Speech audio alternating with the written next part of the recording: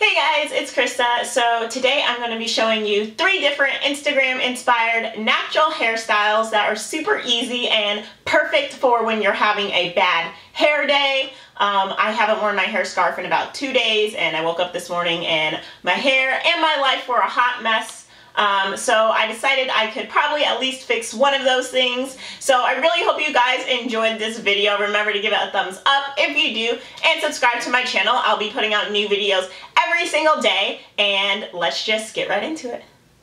Okay, so my hair started out looking a hot, hot mess. So let's go ahead and do something to it.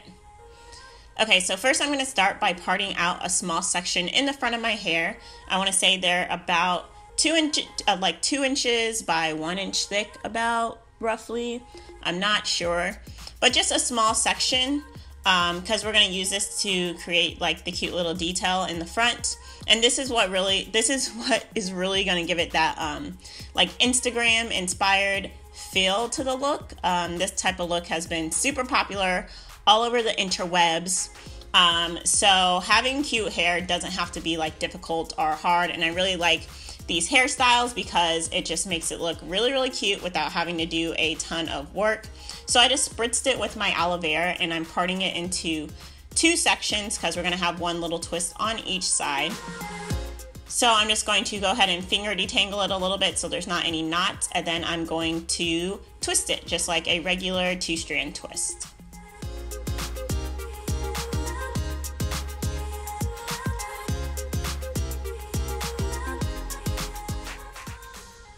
And then I'm gonna go ahead and do the exact same thing to the other side also.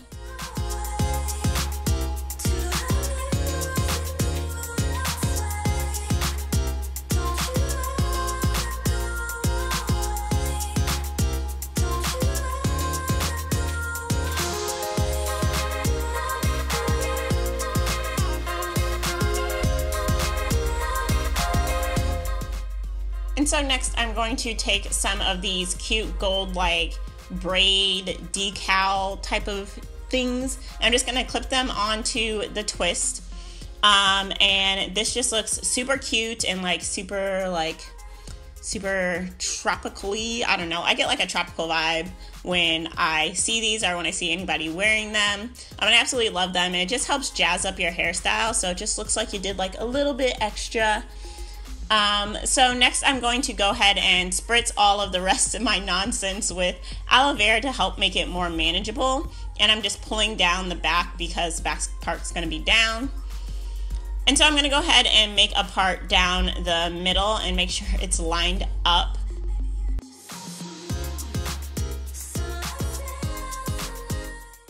And then I'm going to go ahead and part off the front section. Now this part I'm not worried about as much because you won't really see it.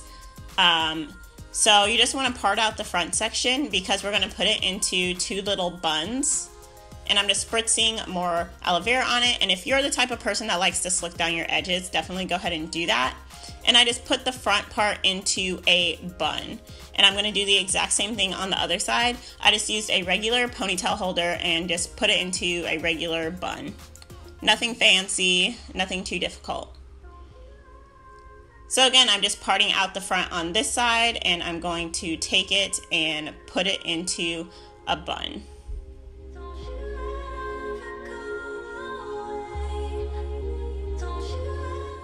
And I always like to part out the sides, but I ended up not keeping those. So I just take a regular ponytail holder and I'm going to wrap it around three times, I think. I'm going to do it pretty tight because I want to stay in place. But again, how big or how loose your buns are is totally up to you.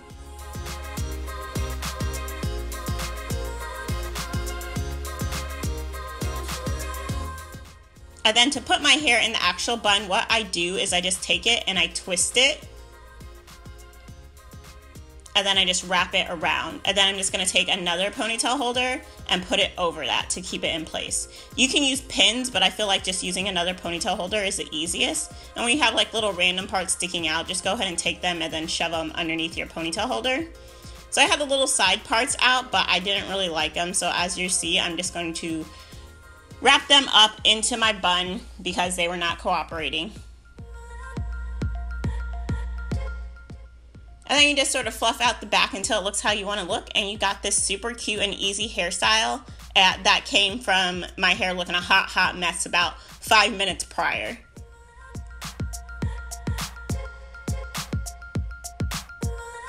Okay, so for our next hairstyle, we're going to go ahead and take down our buns and we're going to actually put it into one giant bun.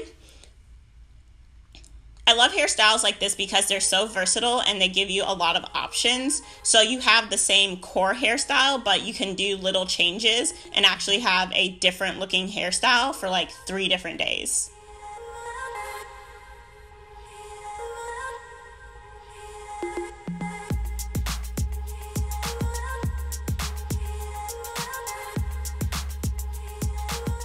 So I'm just gonna make a bun the exact same way I did for the mini bun, but this time I'm only gonna wrap it around two times. And I'm gonna do this one like a typical messy bun, so I'm gonna wrap it around once, and then the second time I wrap it around, I'm just not gonna pull my hair all the way through.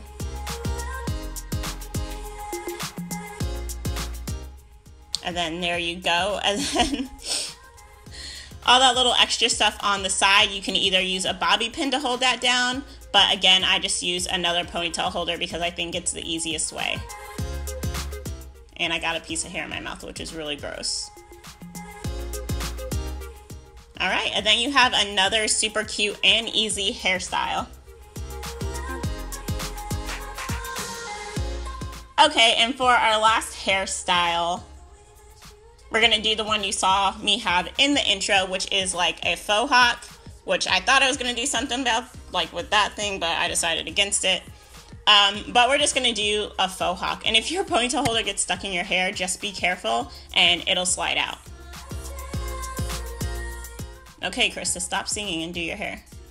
Okay, so what you're gonna need is a lot of bobby pins and just pin your hair into place. And the trick with this is actually pin it higher than where you want it to start because when your hair falls over the sides, it's actually going to look lower than where you want. So if you pin it up a little higher than where you want it to start, um, then it'll end up looking better. And you'll see what I mean when I do the other side.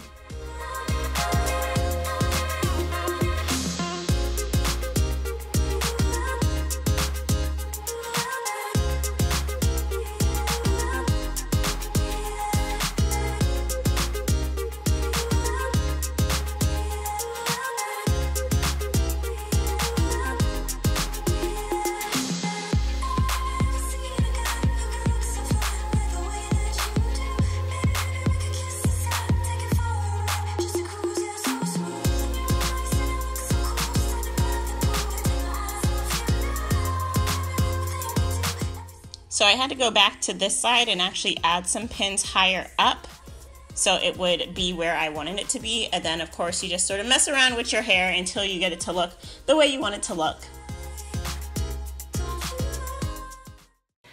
I really hope you guys enjoyed this video. Remember to give it a thumbs up if you did and subscribe to my channel. I'll be putting out new videos every single day. And yeah, I'll see you in the next one.